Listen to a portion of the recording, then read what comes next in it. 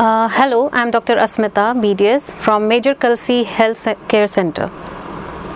आज हम यहाँ पे आए हैं बात करने के लिए कि जो बच्चे हमारे डिफेंस की प्रिपरेशन कर रहे हैं जैसे कि air force N D S S C G D वो जब रिटर्न क्वालिफाई कर देते हैं लेकिन उसके बाद हमारा जब उनका फ़िज़िकल और मेडिकल एग्जामिनेशन होता है तो वहाँ पे कुछ बच्चे तो क्वालिफाई कर जाते हैं बट कुछ बच्चों का वहाँ पे रिजेक्शन हो जाता है वो छट जाते हैं तो रिजेक्शन क्यों होता है? किस पॉइंट पे होता है? आज हम उस पॉइंट पे बात करेंगे। तो बाकी कई सारे इसके एक्सपेक्ट होते हैं, बाकी स्पेशलिस्ट होते हैं जो उस पर बात करेंगे। मेरा टॉपिक है डेंटल से रिलेटेड कि बच्चों के अंदर जो डेंटल से रिलेटेड क्वेरीज होती हैं, या वहाँ पे क्यों मेडिकल या ओरल उसमें क्यों वो छट जाते हैं? ओरल कैविटी से मतलब है जो दांत के अंदर मुँह के अंदर की परेशानी है। वहाँ पर वो क्यों छट जाते हैं? हम उस टॉपिक पे बात करेंगे। तो डेंटल जैसे ही हम बोलते हैं तो सबसे पहला जो मेजर पॉइंट आता है, वो है डेंटल पॉइंट्स कुछ बच्चों को नॉलेज होती है पहले से, कुछ बच्चों को नहीं होती है। तो डेंटल पॉइंट्स क्या होते हैं? कितने होने चाहिए? कैसे कैलकुलेट करते हैं? यहाँ से हम शुरू करते हैं और मैं कोशिश करूँगी कि मैं एक एक टॉपिक कवर कर सकूँ। तो आइए शुरू करते हैं। डेंटल पॉइंट्स हमारे मुँह में ऐसे अपर जॉ में दांत जो होते हैं लोअर जॉ में जो दांत होते हैं, ठीक है? अब हम कैलकुलेट कैसे करते हैं? ये जैसे हमारा अपर जबड़ा है, ऊपर का जबड़ा है, इसमें हमारे ये आगे के दांत होते हैं जिसको हम इंसाइजर्स कहते हैं सेंट्रल लेटरल दो प्रीमोलर्स और तीन अकल डा तीन मोलर्स यानी कि जिनको हम दाढ़े बोलते हैं। अब इनके हम पॉइंट्स कैसे देते हैं? एक पॉइंट सेंट्रल इंसाइजर एक लेटरल इंसाइजर एक एक प्रीमोलर का। और जब हमारे दाढ़े आते हैं तो वो हमारे चबाने के और मेन दांत होते हैं, इसलिए हमने उनको दो दो पॉइंट्स दे रखे हैं। और ये जो पॉइंट्स होते हैं, उनके अपोजिट टूथ को मिला के कि वो कैसे उन पे जाके बैठते हैं, ठीक से बैठते हैं, तब अगर वो दोनों ही दांत ठीक है, तभी जाके उन दांत को हम पूरा पॉइंट देते हैं। जैसे कि अगर हमारा ये ये दाढ़ अगर मिसिंग है या सड़ा हुआ है तो हम इसका नंबर फिर वहाँ पे माइनस हो जाता है। अगर सड़ा हुआ है तो एक नंबर कट जाएगा। अगर पूरा मिसिंग है तो पूरे दो नंबर चले जाते हैं। तो अगर हम इस तरीके से देखें, एक एक एक और ये, पाँच। तो पाँच पॉइंट्स ये हो गए। और छः पॉइंट्स इसके हो गए तो छः पाँच, ग्यारह। तो ग्यारह इधर के पॉइंट्स और ग्यारह इधर के पॉइंट्स मिला के टोटल बाईस पॉइंट्स होते हैं। जिनकी सारी अकल डार भी चारों मौजूद मौजूद है मुँह में तो उनको हम पूरा मिला के हमें 22 पॉइंट मिल जाते हैं। नहीं तो 18 भी मिलते हैं, जिनको हम अच्छे पॉइंट्स माने जाते हैं। तो अगर इस तरीके से कैलकुलेट करें और मिनिमम 14 से ऊपर पॉइंट्स हैं तो हमारा वहाँ पे सिलेक्शन बहुत आराम से हो जाता है। अब देखते हैं कि नंबर क्यों कटते हैं, किस वजह से कटते हैं। जैसे कि दांत हमारा कभी बचपन में हम गिर गए, या कभी गिर गए तो हमारा ये दांत टूट गया, फ्रैक्चर हो गया है। या यहाँ पे हमारी सड़न हो गई है दांतों की। अगर छोटी सड़न है तो हम उसको कैसे ठीक कराएँ? अगर ज़्यादा अंदर तक नस तक है, जिससे कि वो मतलब हमें दर्द कर रहा है सेंसिटिविटी हो रहा है तो हम उसको कैसे ठीक कराएँ? तो उसके लिए हमारे पास ऑप्शन ये है कि हम उनका छोटी सड़न है तो हम उनका दांत के रंग का मसाला भरवा सकते हैं, जिसको हम फिलिंग कहते हैं या रेस्टोरेशन कहते हैं। अगर ज़्यादा सड़न है तो हम रूट कैनाल ट्रीटमेंट के लिए भी जा सकते हैं।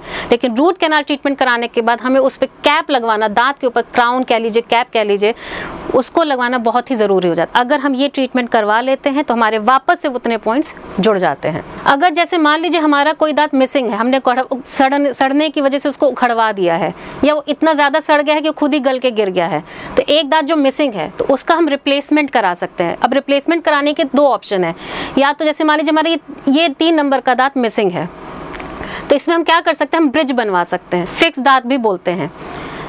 हम उसमें क्या करेंगे? हम ये जो चार नंबर का दांत है और दो नंबर का दांत है, यानी कि उसके एक आगे का और एक उसके पीछे के दांत का सपोर्ट लेके हम उस पर कैप चढ़ा देंगे और वहाँ बीच में जो दांत मिसिंग है, वहाँ पे क्राउन आ जाता है।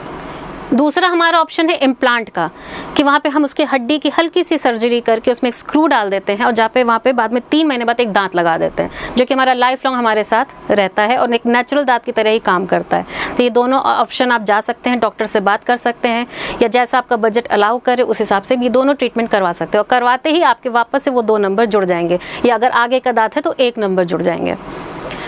अब हम आते हैं नेक्स्ट स्लाइड पे। अब हम आते हैं कि 14 डेंटल पॉइंट्स तो हमारे सही हैं। मतलब मिनिमम है, हमें 18 भी मिल सकता है 17 भी मिल सकता है डिपेंडिंग कि आपके दांत की कंडीशन क्या है।